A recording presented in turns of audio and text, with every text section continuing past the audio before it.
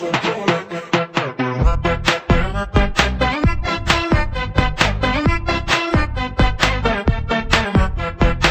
guys langsung aja ke tutorialnya. Aplikasi yang dibutuhkan adalah aplikasi Alih Motion. Kalian bisa download aplikasinya ada di deskripsi. Pertama buat proyeknya terlebih dahulu. Ikuti setting seperti ini ya. Selanjutnya klik buat proyek. Pertama masukkan audionya, kalian bisa download audionya ada di deskripsi. Jika sudah selanjutnya masuk ke detik 6.15.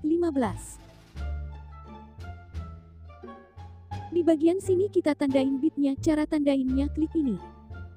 Jika sudah kalian tandain selanjutnya tandain juga bit di beberapa detik ini.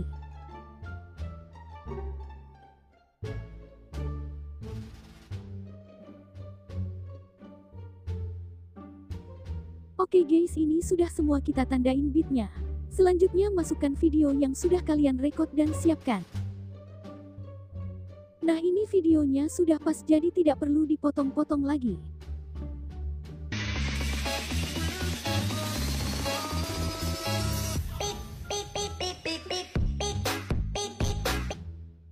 Selanjutnya masuk ke detik 6.15. Di bagian sini kalian bebas mau masukin foto kalian atau foto akun kalian atau juga bisa semuanya full video tidak pakai foto.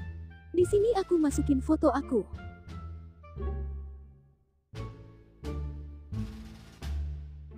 Terus panjangin fotonya sampai habis.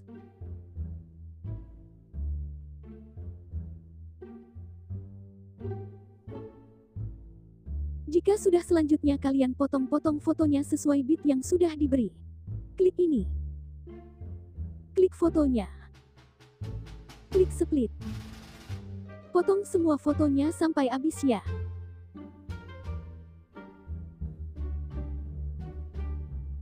Jika sudah terpotong semua, selanjutnya kita akan memberi efek jedak-jeduknya. Masuk ke detik 6.15. Klik fotonya. Klik efek. Klik tambahkan efek. Pertama masukkan efek ubin atau tiles.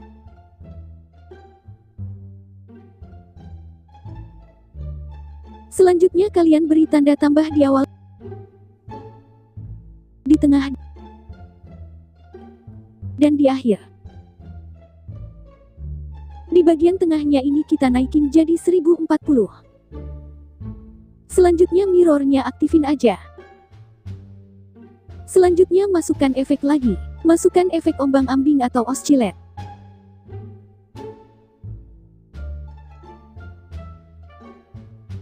Atur sudutnya jadi 0. Atur frekuensinya jadi 1,43. Selanjutnya klik magnitude. Beri dua tanda tambah. Atur yang awalnya naikin jadi 135.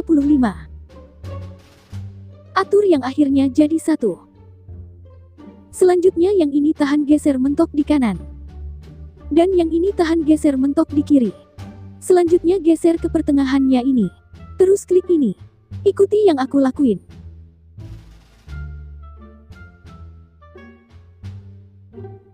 Selanjutnya masukkan efek lagi. Masukkan efek ombang-ambing lagi.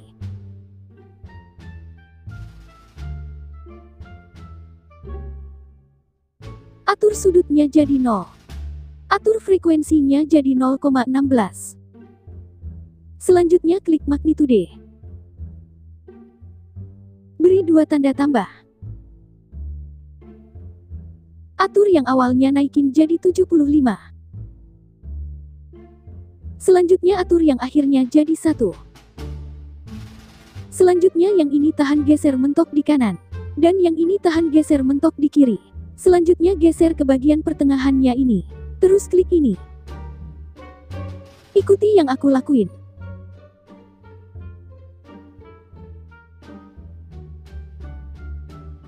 Jika sudah terakhir masukin efek exposure gamma.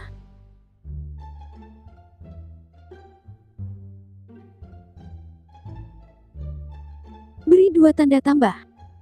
Yang awalnya atur naikin jadi dua. Terus yang ini tahan geser mentok di kiri. Dan yang ini tahan geser mentok di kanan. Oke guys efeknya sudah selesai.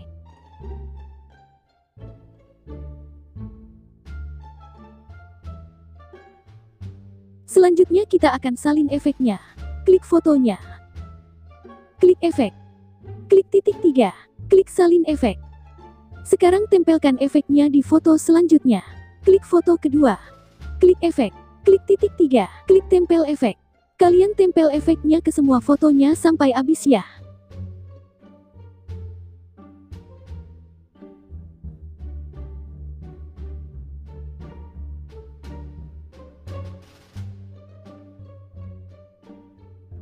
Jika sudah semua kita beri efek, sekarang kita akan ubah sedikit efek di beberapa detik ini.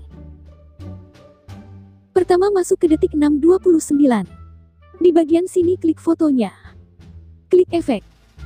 Klik efek ombang-ambing yang pertama ini. Terus ubah sudutnya jadi 99. Selanjutnya di detik 8.00.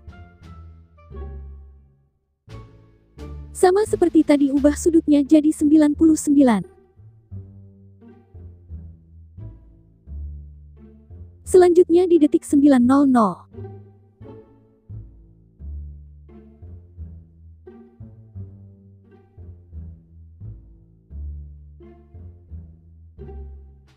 Selanjutnya di detik 10.00.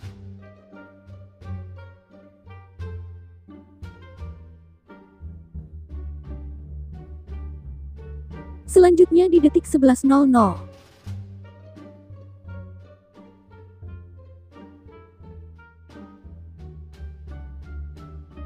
Terakhir di detik 12.00.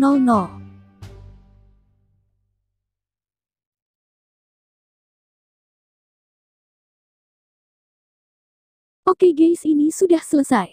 Jangan lupa ubah FPS-nya jadi 60 FPS. Agar videonya lebih halus. Terakhir langsung aja simpan ke galeri.